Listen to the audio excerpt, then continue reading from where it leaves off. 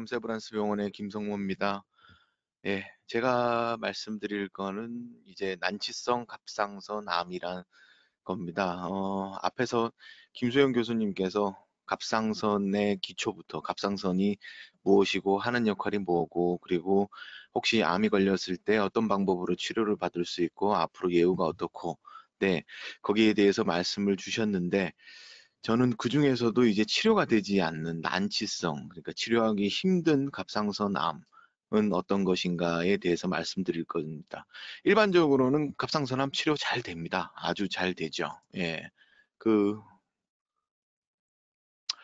이 보통 치료가 잘 안 되는 암은 이제 진행된 갑상선 암입니다. 갑상선 암에서 보면 진행된 갑상선 암은 그냥 치료하기 전에 수술 받기 전에 이미 증상이 있어서 오는 경우가 많습니다. 뭐 목소리가 변한다든지 음식물 삼키기가 힘든다든지 목에 뭐 종개가 만져진다든지 목이 불룩 튀어나온다든지 이렇게 진행돼서 오는 경우가 많고 그리고 그냥 치료를 잘 받았다 치료를 받았다고 하더라도 앞에서 말씀드렸다시피 혹 갑상선 암에서 혹만 달랑 떼내 가지고 나중에 재발을 하고 이렇게 됐을 때 이제 갑상선 암 남아 있는 세포들이 더 진행돼 가지고 문제가 되는 경우 그리고 제가 여기 밑에 적어 놓은 거는 인명은 제천입니다. 그냥 처음부터 아주 나쁜 놈 그러니까 나쁜 갑상선 암이 생겨가지고 그런 것들이 진행이 돼서 오는 경우에 어, 치료하기 힘든 난치성 갑상선 암이 됩니다.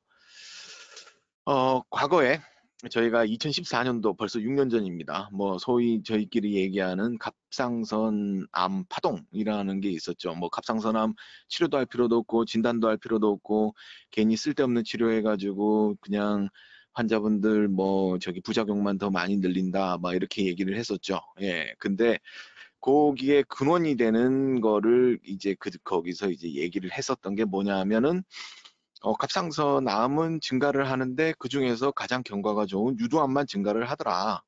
그래서 대부분의 갑상선 암이 유도암인데 어, 증가하는 숫자들은 전부 다, 다 유도암만 증가를 하더라.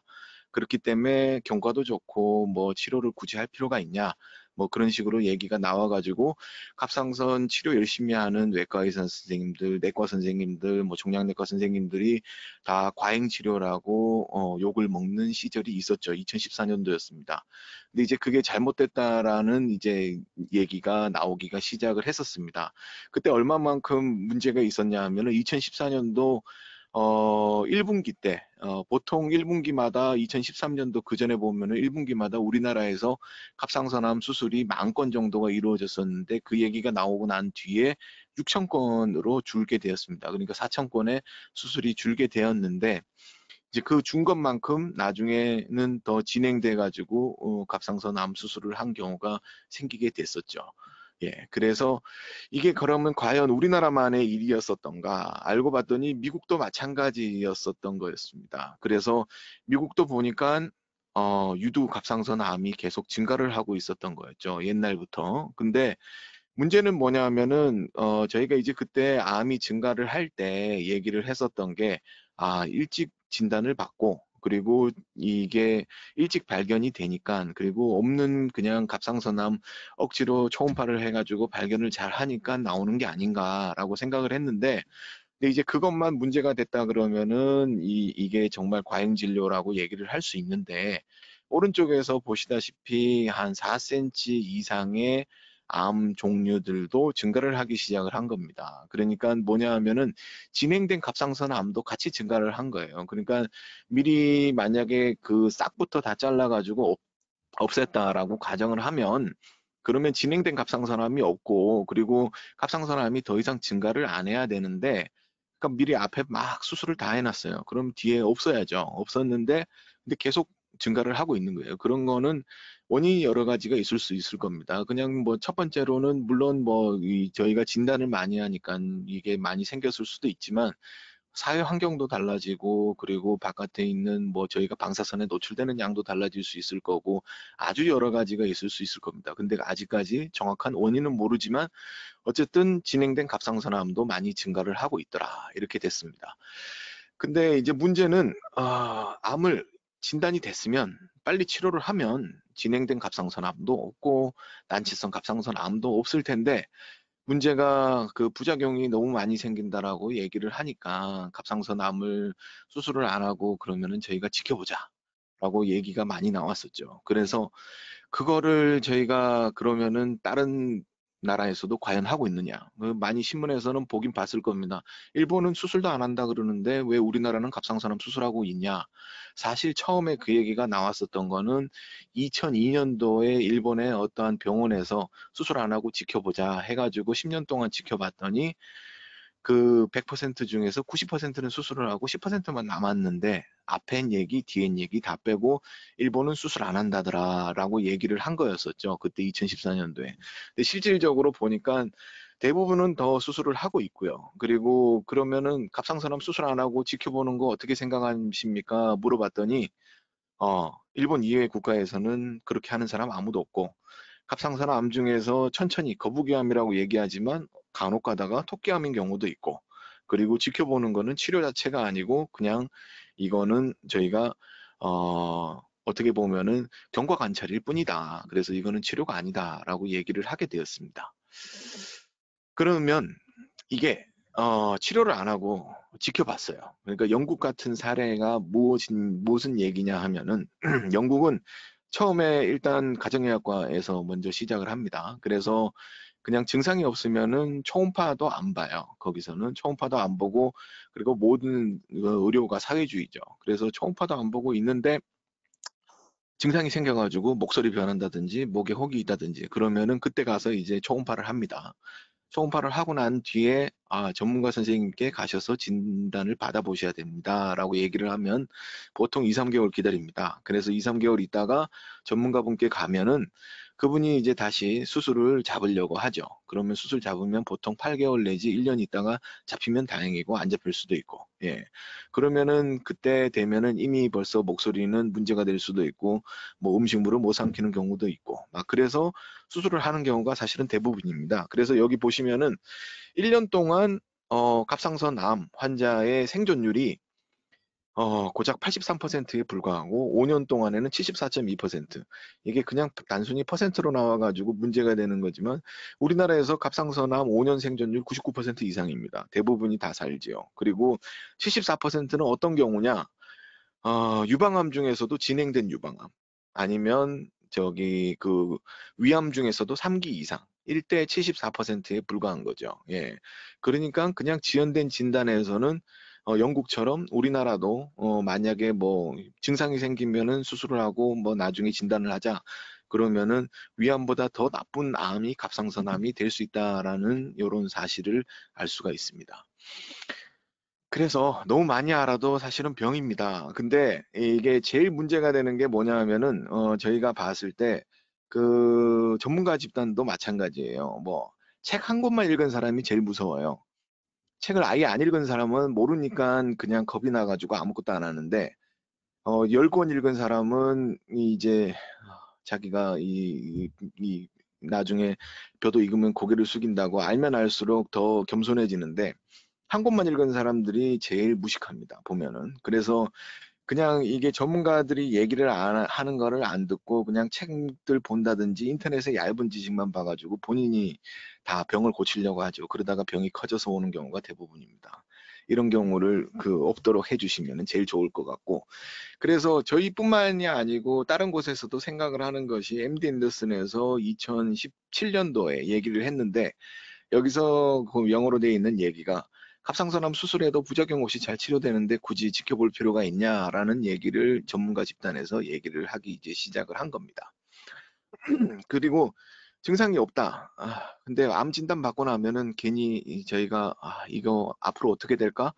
6개월 뒤에 검사해도 되나? 3개월 뒤에 검사해도 되나? 1년 뒤에 검사해도 되나? 아니면은 수술 언제까지 미뤄야 되나? 막 이렇게 생각을 하죠. 그렇게 생각하고 스트레스 받는 것도 아마 증상이지 않을까. 그 그런 불편한 거를 왜 계속 하고 있는지 모르겠습니다.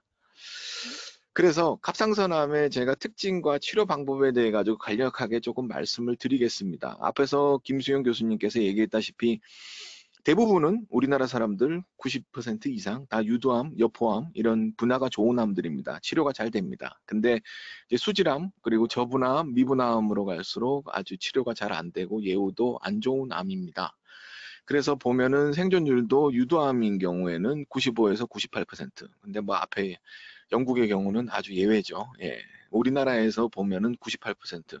지금 요즘 같은 경우에 거의 99% 이상입니다. 근데 미분암은 1년 미만입니다. 생존율 자체가 10년 생존율 자체가 없습니다. 그리고 그냥 평균 저희가 생존하신다는 분들이 치료를 안 하게 되면은 3개월 사시는 경우가 대부분이고 치료를 한다고 하더라도 5, 6개월 사신다고 얘기를 하고 1년 이상 사시는 분들이 10에서 20% 정도밖에 안 될 정도로 아주 고약한 암입니다. 그러면 일반적으로 갑상선암 치료는 안에 조금 저 동그란 저기 까만색에 보면은 저것들이 일반적으로 이루어지는 치료입니다. 수술이 가장 큰 원칙이고요. 수술을 할 수 있으면 수술을 해야 되는 거고 그리고 수술을 하고 난 뒤에 혹시라도 남아있는 갑상선이 있을까 싶을 때는 방사선 요오드 치료를 하게 되고 그리고 방사선 요오드 치료가 끝나고 나면은 호르몬 억제요법 야 그 TSH라는 머리에서 나오는 갑상선 자극 호르몬을 줄여 가지고 재발을 막는 요것이 전통적인 치료 방법입니다. 근데 이런 치료 방법에서 안 되는 그러니까 그런 전통적인 치료가 힘든 암 저기 치료는 외부 방사선 치료나 약물 치료를 하게 됩니다.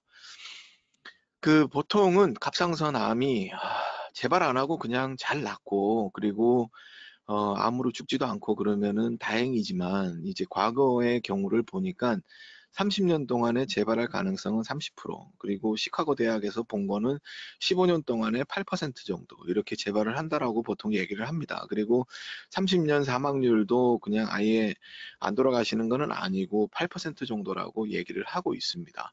그러면 재발을 잘 하는 부분은 어디냐? 어, 보통 일반적으로 갑상선암이 있던 곳에 눈에 보이지 않는 암세포들이 커지면서 그렇게 재발을 하게 돼 있습니다. 그래서 국소 재발이 보통 대부분 80%를 이루고요. 그 중에서도 목에 있는 임파선, 여기서 임파선이라고 많이 얘기를 들으셨을 겁니다. 뭐 암이 임파선으로 많이 전이가 되지 그러는데 우리 몸에 임파선이라는 거는 한 5천 개 정도쯤 있습니다. 그 중에서 목에는 보통 200개 정도 있고, 그리고 목 앞쪽으로 해가지고 한 100개 정도쯤 있고, 저희가 주로 수술하는 양쪽 경동맥 사이로는 한 20개 정도쯤 임파선이 있는데, 임파선이 하는 역할은 그냥 암이, 임파선이 만약 없다 그러면, 암이 핏줄을 타고 암 세포들이 막 여기저기 다니면서 뭐 폐에도 전이가 되고 머리에도 전이가 되고 다 전이가 될 수 있어요. 근데 그거를 막아주는 거를 임파선이 하는 역할입니다. 평, 평소 때는 뭐 저희가 피곤하면은 거기서 임파선이 붓기도 하고 아니면은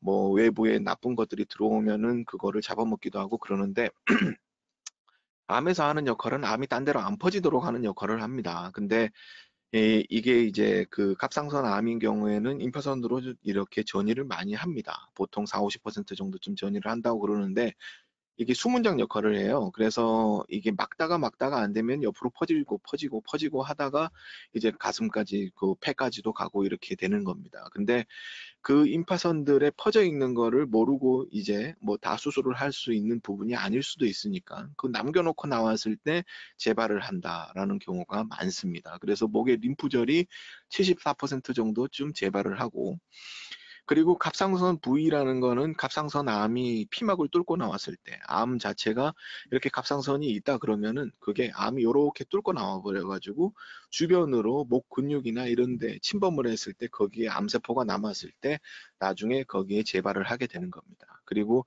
기도 목 근육 쪽으로도 재발을 할 수가 있고요. 근데 어, 저희가 이제 다른 암들, 뭐 위암, 뭐 유방암 아니면은 그 대장암 이런 암들에서는 재발을 하면은 큰일 나는 줄 알죠. 뭐, 아, 이제 재발하면은 이제 어떡하냐. 뭐 항암 치료하다가 저희가 죽나요. 뭐 이렇게 되는데 갑상선암은 꼭 그렇지는 않습니다. 국소 재발, 그러니까 수술을 할 수 있는 경우에서는 수술을 하는 게 원칙이고 수술을 못하는 경우가 있죠. 뭐 너무 아주 위험한 부위에 있다든지 큰 혈관 옆에 있다든지 수술을 하는 게 득보다 실이 더 많다라고 생각을 한다든지 예를 들어서 뭐 기도를 다 침범했는데 기도를 자를 수가 없으니까 수술을 못하는 경우 그런 경우를 제외하고는 수술을 다 할 수 있습니다. 심지어 뭐 일곱 번 여덟 번 수술한 경우도 있고요. 그래서 국소 재발은 수술이 가능하다 그러면 수술을 하는 게 원칙이다. 그리고 원격 재발인 경우에는 폐에 있거나 주로 폐를 가는 경우가 대부분이고 뼈나 뇌로 가는 경우는 극소수인데 폐에 있는 경우에는 이제 하나하나씩 다 저희가 수술을 할 수 없기 때문에 그쪽으로는 원격 재발인 경우에는 방사선 요오드 치료가 가능하다 그러면 방사선 요오드 치료를 하고 다른 치료를 할 수 있다 그러면 다른 치료도 하게 됩니다. 그래서 국소 진행된 갑상선 암의 치료에 있어서는 오른쪽에 보이다시피 저쪽은 이제 저희가 방사선 치료를 하는 건데 과거 같으면은 방사선 치료를 그냥 뭉뚱그려 가지고 그냥 한꺼번에 다 하는 거였었는데 요즘은 그 부위에 맞게 어, 양을 조절해 가면서 치료를 합니다. 저게 이제 토모세라피라는 부분이고 과거에 방사선 치료에서 토모세라피. 토모세라피가 나왔을 때 처음 나왔을 때 다 꿈의 치료제라고 막 얘기를 했었죠. 근데 요즘은 또 중성자 치료, 양성자 치료가 있습니다. 저거보다 더 정밀하게 치료를 하는 걸 겁니다. 예. 그것도 이제 꿈의 치료라고 얘기를 하는데 사실 그게 모든 만능 치료가 되는 거는 아닙니다. 저렇게 국소적으로 있는 경우에 치료를 할 수 있는 경우입니다. 그리고 방사선 요오드 치료를 하는 경우도 있습니다. 근데 효과는 그렇게 크지는 않습니다. 그리고 단순 견청 경과 관찰을 하는 경우가 있는데 그는 1cm까지는 할 수 있는데 1cm가 넘어가게 되면은 저희가 수술을 해줍니다. 근데 1cm까지 경과 관찰을 해도 되는 이유는 그렇게 재발된 것들이 다른 데로 퍼지지는 않습니다. 대부분이 다 거기서 그냥 그대로 그냥 커지고 말지 그거 자체가 다른 데로 폐로 전이가 된다든지 그런 게 아니기 때문에 일단 경과 관찰을 하다가 1cm 정도가 됐을 때 수술을 합니다. 왜냐하면 1cm보다 작았을 때는 재수술을 하는 경우에 되게 수술이 어려운 경우가 많아서 그렇습니다. 그리고 외부 방사선 치료는 오른쪽의 사진처럼 저렇게 진행을 합니다. 그리고 원격 전이의 갑상선 암의 치료는 주로 방사선 요오드 치료를 하게 됩니다. 근데 방사선 요오드 치료는 과거에는 이제 무작정 뭐 그냥 한 번 더 하고 열 번 더 하고 너무너무 힘들었습니다. 환자분들이 치료를 받는 데 있어 가지고 특히나 뭐 처음에 할 때 200 정도를 만약에 했다라고 하면 다섯 번만 해도 1000 미리큐리가 되는데 그 정도가 되면은 막 여기 침샘염도 너무 많이 심해지고 침은 잘 안 나오고 생활에 불편한 것들이 너무 많습니다. 그리고 그것 때문에 2차적으로 암이 생길 수도 있고 방사선 요드 치료를 많이 했을 때 근데 최근에는 이제 많이 하나 아니면은 한 600밀리퀴리 정도를 하나 비슷하다고 생각을 하기 때문에 그렇게 많이 하지는 않습니다. 근데 방사선 요오드 치료에서 그 thyroglobulin 암 수치가 높다든지 젊은 환자라든지 이런 데에서는 이게 효과가 아주 좋습니다. 그리고 방사선 요오드 치료를 했는데 오른쪽에서 보시다시피 여기에 보시면은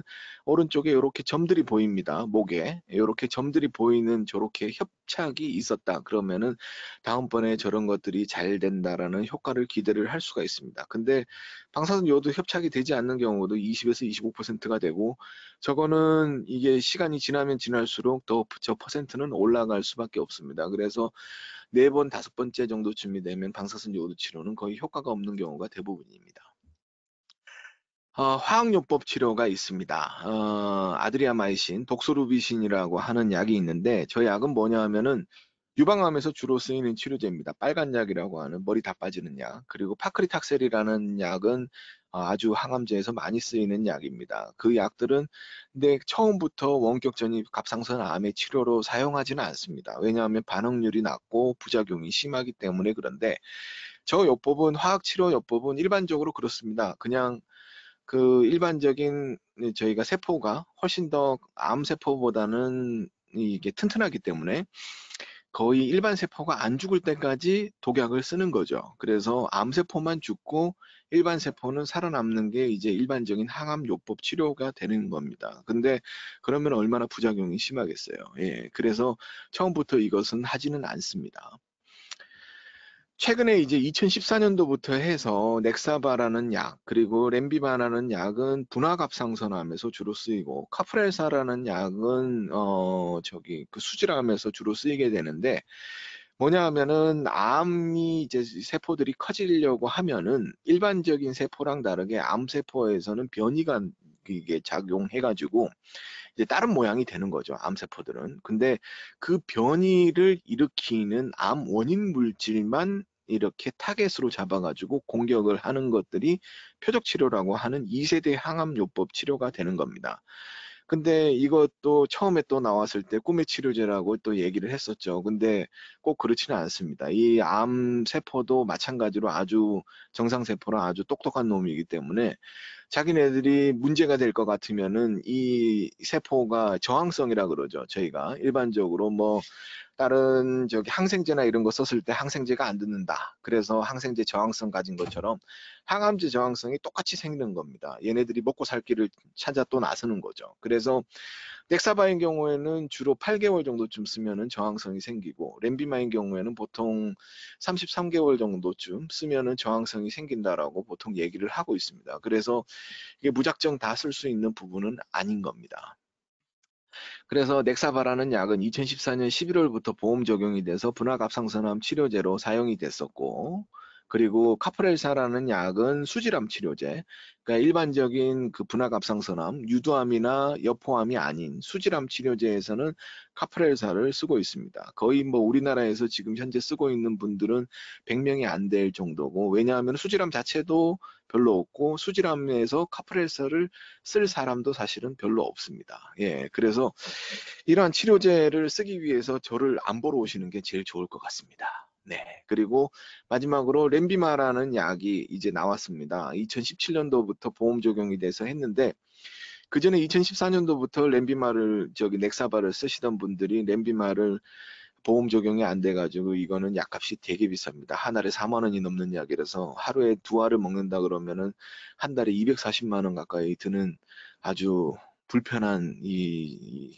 현실입니다. 예. 근데 치료 효과 자체는 되게 좋습니다. 어, 항암 이그 표적 치료를 받은 사람과 안 받은 사람을 비교를 해봤더니 그러니까 암이 안 자라고 있는 게 그 넥사바에서는 6개월 정도 동안 암이 안 자라고 효과가 있고 그리고 렘비 렘비마에서는 한 18개월 정도쯤 효과가 있다 그런 얘기가 있습니다. 그러면 무슨 얘기냐 하면은 저희가 암이라는 것이 이렇게 자라죠. 이렇게. 예. 그러면은 여기 있는 요 부분으로 다시 돌려놓는 겁니다. 저희가 시간을 과거로 되돌려 놓고 암 크기가 줄면은 여기서부터 다시 시작을 하는 거죠. 예. 그래서 표적 치료는 저런 효과가 있죠. 그래서 어 제가 환자분들한테 설명을 드릴 때는 시간을 과거로 되돌려 놓는다. 예. 이렇게 해가지고 다시 시작을 한다라고 얘기를 하는데 이런 치료를 제가 누누이 말씀드리지만 안 받는 것이 제일 좋습니다. 예.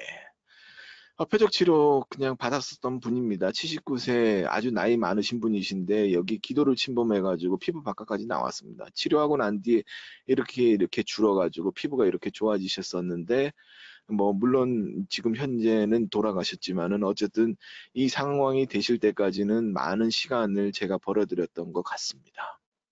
그래서 표적 치료제의 문제는 이게 어, 부작용이 전혀 없는 치료라 그러면 아주 꿈의 치료제죠. 아주 좋죠. 근데 문제는 그게 어, 암세포에만 작용을 하는 게 아니라 일반 세포에도 작용을 할 수 있어 가지고 부작용이 나올 수 있습니다. 뭐 혈압이 올라간다든지 아니면 소변에 거품이 나온다든지 아니면은 머리카락이 빠진다든지 아니면은 손발이 저려 가지고 뭔가를 못 한다든지 아니면은 손끝에 막 습진처럼 뭐 피부가 벗겨진다든지 그런 부작용이 나올 수 있고 그래서 그런 부작용 때문에 삶의 질이 떨어질 수 있고 그리고 약을 3개월마다 타서 드셔야 되기 때문에 매번 내원을 해야 되는 부작용은 있죠. 근데 생존율을 향상시키고 병 진행을 다시 과거로 시간을 되돌려 놓고 그리고 앞에서 보셨다시피 피부 쪽으로 저렇게 나와 있는 것도 증상을 완화시켜 주는 이런 장점은 있습니다. 근데 이제 문제는 표적 치료를 어, 주저하는 의사들도 되게 많습니다. 왜냐하면은 저게 과연 이게 과거로 시간을 되돌려 놓는다고 하더라도 어차피 이제 이렇게 생각을 하시면은 안 되는 부분이라고 저는 생각이 드는데 뭐 어차피 나중에는 돌아가실 분이신데 이게 과연 효과가 있는 것일까? 그리고 처음에 그 치료를 하고 나면은 그 다음에 치료는 어떻게 할 것인가? 그리고 그런 경제적인 부담은 어떻게 지어줄 것인가라고 해서 표적 치료를 주저하시는 분들, 환자나 의사나 마찬가지로 주저합니다. 그 주저하는 이유 중에 또 다른 이유는 어, 저희가 이제 폐로 전이가 됐다고 하더라도 이거는 저희 병원에서 폐로 전이된 경우는 사실 많지는 않습니다. 그리고 오랫동안 폐로 전이된 분들을 지켜보는 그런 경우도 별로 없고 그런데 한 100명 정도를 저희가 봤더니 5년 동안 폐로 전이돼도 98%가 삽니다. 그리고 10년 동안에도 93%가 살고 20년 동안 지나니까 80%까지가 삽니다. 이 얘기는 뭐냐 하면은 암이 폐로 전이됐다고 하더라도 그렇게 진행이 빠르지 않아 가지고 일반적으로 대장암, 뭐 위암 이런 것들이 폐로 전이되면 6, 개월 살기가 힘든데 갑상선암은 이렇게 된다고 하더라도 오랫동안 생존을 하게 됩니다. 그래서 치료 안 해도 오래 사는데 굳이 이걸 치료해가지고 손 다 아프고 뭐 설사도 나오고 혈압도 올라가고 이렇게 할 수 있을까? 그리고 여기 사진에 보시다시피 여기 어깨에도 있고 뭐 종격동에도 있고 간에도 있고 이렇게 된다고 하더라도 이분은 증상이 없으셨습니다. 아무런 바깥으로 나오는 증상은. 그러니까 암이랑 그냥 같이 살고 계신 거죠. 근데 과연 표적 치료를 할 필요가 있을까? 비싼 돈 내가면서 할 필요가 있을까? 아니면은 이렇게 힘든데 할 필요가 있을까? 이렇게 환자분들이 주저를 하시게 됩니다. 근데 어, 표적 치료 이후에 16개월 이상 훨씬 더 오래 산다라는 게 최근에 발표가 됐어요. 예, 그래서 이게 오래 살 것 같으시면은 이게 치료를 하는 게 도움이 되는 게 아닐까라는 생각이 듭니다. 그래서 저는 뭐 이런 저런 부작용에 대해 가지고 다 말씀을 드리고 그리고 난 뒤에 부작용이 생겼을 때도 거기에 대한 어, 적절한 대응을 하면서 치료를 계속 해 나가는 게 중요하지 않을까라는 생각이 듭니다. 최근에 어 이제 뭐 아마도 들어보신 분들도 있고 못 들어보신 분들도 있을 텐데 키트루다 옵티모 이것이 이제 면역 항암제가 나왔습니다. 언제나 무슨 항암제가 나오면은 아, 꿈의 치료제다. 이게 이제 뭐 정복되는 거는 시간 문제 얘기를 했는데 어, 면역 항암제, 명확 항암제가 하는 거는 어떻게 되냐면 우리 몸에 면역 세포들이 많죠. 그냥 일반적으로 가장 잘 알려진 뭐 백혈구 세포라든지 뭐 이런 것들이 있습니다. 근데 그런 세포들의 활성화를 올려가지고 면역 억제 물질을 만들고 막 이렇게 해가지고 이 면역 그 기능을 개선을 해가지고 얘네들이 그냥 대신 암세포랑 싸우도록 만드는 겁니다. 그전에는 독약을 쳐가지고 암세포를 죽이든지 아니면은 암세포에 특이하게 작용하는 것만 하든지 했는데 그러지 말고 우리 몸에 있는 아주 훌륭한 그 저기 병사들을 잘 키워가지고 암세포랑 싸우게 만들자 해가지고 했는데 면역 치료제는 가장 큰 문제가 아니 가장 큰 부작용이 어, 돈이라고 얘기를 합니다. 어느 정도냐면 키트로다 저거를 만약에 보험 없이 쓰려고 그러면은 한 달에 천만 원 가까이 듭니다. 보통 약 약제 비만 그렇게 듭니다. 예. 비용 문제가 있는데 비용 문제를 이제 둘째 치고라도 저희가 어, 아시는 저기 자가 면역 질환 중에서 어, 류마티스 관절염 이런 거 아니면은 루푸스병 이런 거를 얘기를 들어보셨을 거예요. 아 근데 류마티스 관절염이 사실은 면역 질환이거든요. 그 면역이 너무나 활성화가 돼가지고 우리 몸의 관절이나 이런 곳에 이제 작용을 해가지고 관절이 아픈 거거든요. 근데 이거는 면역을 활성화를 시키면 우리 몸에 있는 모든 면역 질환이 발생을 할 가능성이 많아지는 거예요. 그래서 몸이 예를 들어서 관절염이 생긴다든지 아니면 췌장염이 생긴다든지 아니면은 눈에 뭐 녹내장이 생긴다든지 막 이런 부작용들이 많이 생길 수가 있어요. 그러니까 부작용이 없을 수가 없는 약인 거죠. 예. 근데 그거보다는 그래도 항암제를 이제 항암 작용이 더 크기 때문에 사용을 하는 부분인데 아직까지는 갑상선 암에서는 우리나라에서 허가도 안 났고 그리고 비용 문제로 사용을 하기도 힘들고 아예 이거를 사용을 하게 된다 그러면은 그냥 어 국가에서 그냥 아예 막고 있습니다. 그래서 아예 저기 갑상선 암에서는 사용조차가 힘듭니다. 근데 지금 현재 어 미국인 미국 같은 경우에는 표적 치료제랑 면역 항암제랑 같이 이제 사용하는 그런 요법들을 많이 사용을 하고 있고 아마도 조만간에 우리나라에서도 그런 치료를 할 수 있을까 생각이 듭니다.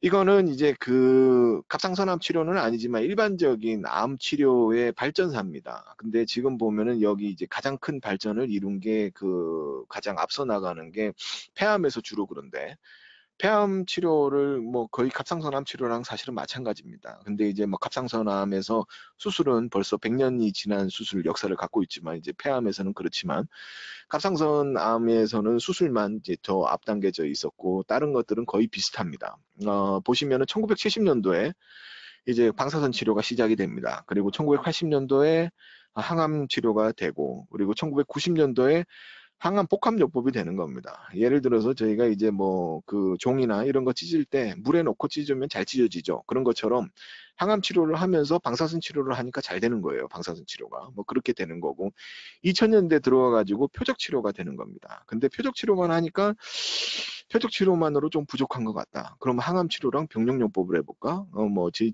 병원에서는 지금 현재 하고 있습니다만 그런 것들이 다 진행이 되고 그래서 다음 표적 치료제는 뭐 표적을 옛날에는 한 군데만 잡았는데 여러 군데 표적을 잡는 그런 치료를 하게 되고 지금은 이제 면역 치료가 되고 그러면은 앞으로 나올 거는 모든 게 복합적인 치료가 될 겁니다. 방사선 치료에 항암 치료에 면역 치료에 표적 치료에 그리고 복합 그 표적 치료까지 다 한꺼번에 되는 치료가 될 걸로 생각이 듭니다.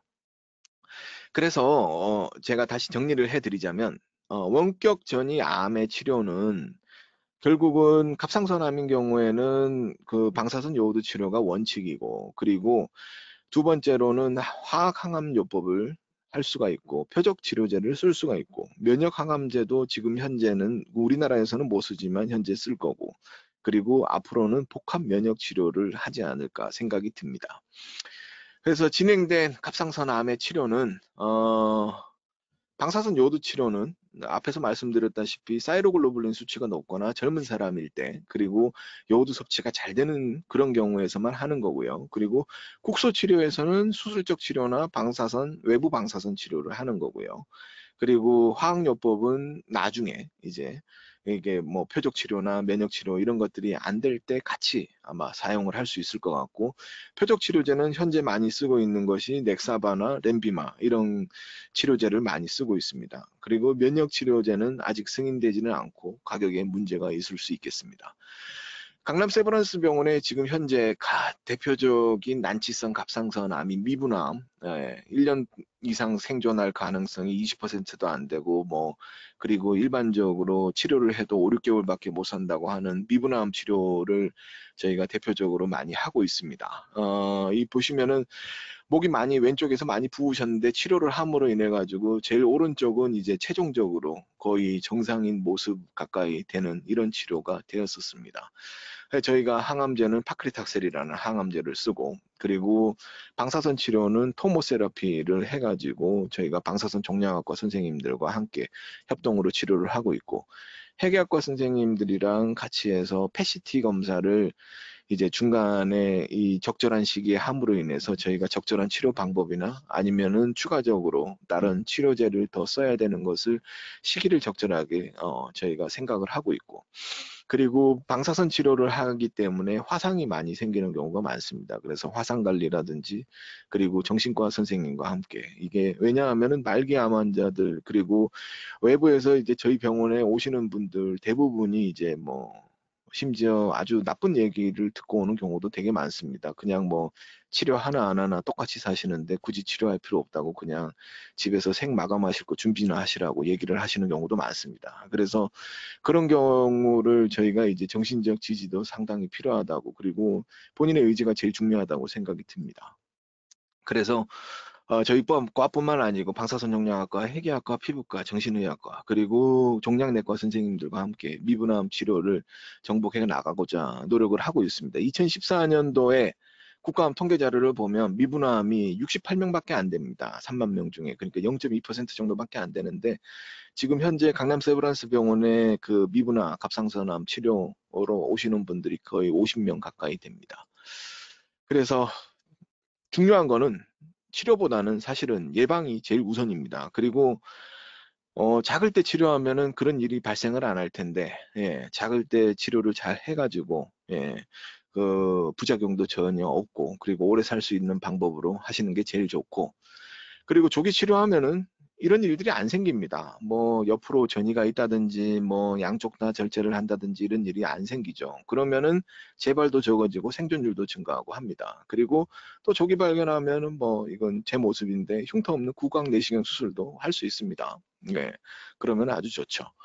근데 항상 얘기를 합니다. 갑상선암 치료는 개인의 선택, 어, 개인의 선택 아니죠. 왜냐하면 이게 어, 국가에서 정책이 문제되는 부분도 있고 그리고 언론에 나오는 부분도 있고 뭐 의사에게 살해당하지 않는 47가지 방법. 의사가 왜 살해를 하는 겁니까? 그리고 암 치료가 당신을 죽인다. 암 치료는 암 치료해가지고 살리려고 하는 문제인데 당신을 죽인다라고 저렇게 하고 나면은 솔깃합니다. 아주 좋은 얘기인 것 같고 그리고 자기는 뭐 의사들이 뭐뭐 이런 식으로 얘기하는 경우도 있더라고요. 뭐 그 자기 수술 많이 하고 치료 많이 해가지고 뭐 어, 개인적인 영, 명예를 위해 가지고 저렇게 한다. 다 말도 안 되는 얘기지요. 예. 그래서 중요한 거는 진행된 갑상선암은 증상 후에 내원하시는 거고 시술도 제대로 못 받고 그리고 시술 후에 방치를 했기 때문에 저렇게 생기는 거고 저거는 이제 먹구름 있는 천둥번개가 치는 곳으로 계속 아주 나쁜 길을 가야 되는 거고요. 완치 갑상선암은 조기 진단, 올바른 수술, 수술 후 치료, 그리고 예방 이런 것들로 완치 갑상선암이 이루어질 수 있다고 생각이 듭니다. 항상 저희 교수님들 사진을 보여드립니다. 요거는 제, 접니다. 왼쪽에 있는 거는 예, 아주 험난한 길을 올라가고 있어야 되죠. 언제 정상이 될지는 모르겠지만 계속 노력을 해가지고 난치성 갑상선암을 정복하는 일이 있기를 바랍니다. 경청해 주셔서 감사합니다.